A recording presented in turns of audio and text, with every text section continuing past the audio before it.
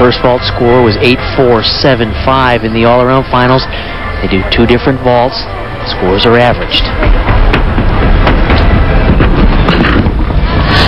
Yurchenko with the full twist Looks very, very close to the vault. Barely clipped her toes.